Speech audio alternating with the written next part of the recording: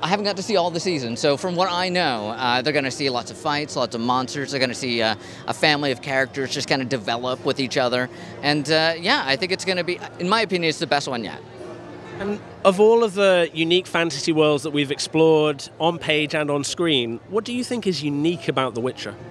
Um, well, like for, for me, and uh, as we're doing this version uh, uh, of the show, uh, I really like the fact that we're using little people actors to play the dwarf characters, not just using CGI. I think that adds a lot more heart and a lot more. Um, uh, sophistication behind it because normally uh, you're having actors who, who don't know what it's like to be us. And so we can have that same we've i've felt the same persecution that yarpen and his band of dwarves have felt. So it's it's an essence that you don't really get when you have average height actors playing those roles I know obviously it's a sensitive kind of topic for the industry, but do you think that it's important to have that people's lived experiences uh, transferring over into their performances? Well, absolutely. I think representation is incredible, uh, and I think it's very important because if you can't see yourself on, on screen or on stage or anything like that, you don't feel like it's possible. So, as for little people, when, when you get to see that and see them not just be there, not be a butt of a joke, but they're up there, they're fighting, they're they're just as tough as the rest of the uh, the rest of the guys. Uh, I think that's really important because it gives you a chance um, to to look and see I can do that, and I think that's really important, especially for the arts and the industry. I have a lot of good time. I got a trusty Warhammer with me. I got a, a wonderful dagger that uh, the uh, uh, master of, of, props and, and uh, uh, armor uh, kind of developed. yeah, so I get in on the fray and help him out, and, and I'm really excited to see where we go with him.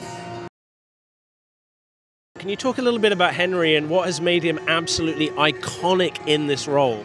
Well, I, I think he hasn't been shy of the fact that he knows a lot about uh, the, the character in the books. And, and I think uh, for me, I've done the same thing. I was a fan of the books before I even auditioned. And so getting to play Yarpen, who is my favorite character in the books, is very exciting. And I can see, see where Henry comes with that, being a fan of, of playing the games and reading the books and everything. And uh, yeah, no, I, I, think their, their uh, relationship in the show is, is very much a kinship because they're both monster hunters. They're both a little bit surly. They're both um, not fully understood. And, and I think they, they have an understanding with each other. So Geralt doesn't have a whole lot of friends, but I, I think he, you can count Yarpen among them. And I think obviously, like you say, I mean, the Witcher world is packed with all these astonishing layered characters. What was it about Yarpen that made him so interesting for you when you read the original source material? Well, I think uh, for me, like he speaks up for his people, um, and so he has that rough and gruff de- demeanor, and people are like, "Why is he so angry?" But uh, as we got to see a little bit in Blood Origin, the prequel show, there's a reason why he's angry, and a lot of his people don't like to speak up, and I think he feels like he has to represent them, and uh, he sees some of his people being disrespected. He's gonna jump jump up and, and knock them down to his level. Do you have a fondest memory, one that makes you smile the most when you think back on nights like tonight? Absolutely, and it's uh, this season. Um, uh, I love doing all the physical stuff and being. Uh, uh I have done a lot of stunts in, in, my, my time doing stage work, and uh, I love the fact that I got to join in on all that in a big way. And I love the fact that Wolfgang Stegmann, who is one of the, the, the fight coordinator and, and Tolga fight director, they wanted me to, to do it. And they, um, they're like, hey, we got you stunt guy, but we love everything that you're doing. We want he's not going to be your stunt guy. He's going to be joining you as one of your guys, and you get to do all your own fighting, all your own stunts. And it was a, a huge honor for me because I love getting to do that. Because I know it's Pretty much because I get to show that, that the little guys can do it too.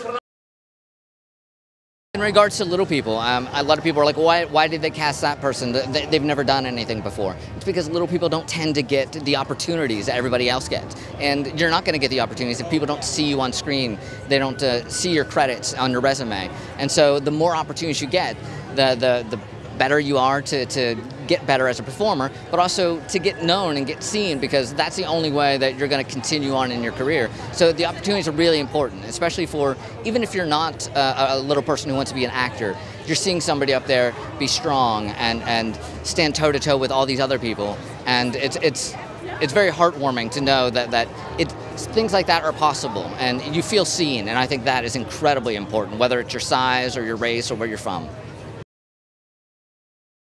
It's very clear that you're a passionate fan like Henry of the source material. I'm curious how close season three sticks to that and how much of this season is its own story, its own adventure? Well, as far as I know, because I haven't got to see the whole season, so everything that I've done, um, uh, there's elements from the books. Uh, like we, we dipped back a little bit into um, uh, Blood of Elves for a scene that uh, I'm part of in Sherwood. So uh, it's really exciting to, to see that being translated on screen. Well, it's amazing. Like I am a fan, and so it's so weird to look and, and, and see all this stuff because I would have been going to, to Reddit or, or reading all these articles if I wasn't even in it and a part of it. Uh, in fact, it makes it weird when I see my name pop up because I'm like, oh yeah, I forget that I'm a part of it. So it's it's amazing, and uh, as a fan, I, I love everything that I get to see on the screen, and I'm so excited to see what else is yet to come. Um, well, there's a lot of stuff I'm really excited to seeing. Uh, one of my favorite parts of uh, Baptism of Fire, which is the next book, is another uh, dwarf character named Zoltan, and I have no idea what they're going to develop, what we're going to be doing, but it'd be really exciting uh, to, to see a lot of what's called the Hansa uh, um, translated on screen. And I've worked with Liam before. We, we did a, a TV show called uh, Most Dangerous Game, and so he's a wonderful guy, and I think he's got a lot to bring to the character, and I know he's working his butt off, and it's going to be exciting. Like so you, are one of those people who, who had the luxury of working with him before. What do you think makes him such a very special performer? Well, I, I think he, he, tries to, to bring the physicality into the character as well. Um, he thinks about the character, about um, how they're handling everything, what the, the, they need to go through, and uh, and he really puts it in physically. I know that like I know some fans are a little bit worried that is it going to be the same Geralt when it's a different person physically, but but Liam does not hold back when he, when he's working in a character, uh, especially when it comes to physicality. So yeah, no, I'm really excited. Uh, I think Henry announced that he was leaving the show after after we, we finished wrapping, um, but but when we heard it, it was uh, uh, you know it hit you. Um, but um, we're, we're excited for the show to come out. We're excited to celebrate with one another, and and really looking forward to um, what's going to happen in season four. I, I think that found family element is going to be incredibly important this season, and I'm really looking forward to seeing how it all comes together and uh, and how Uncle Jaskier fits into all of that as well. Uh, it's it's really exciting, and as a fan of the the books and and of the show, I'm I'm looking forward to see how it comes together on screen. Do you have a message for all those devoted Witcher fans all around the world who cannot wait for Volume 1 to drop on June 29th, followed by Volume 2 on July 27th? It's the best one yet. You're going to love it.